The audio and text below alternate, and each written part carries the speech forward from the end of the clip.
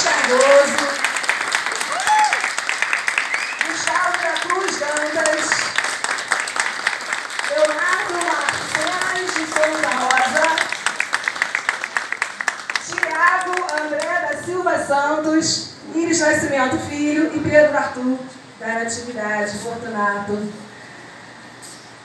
E aí estão.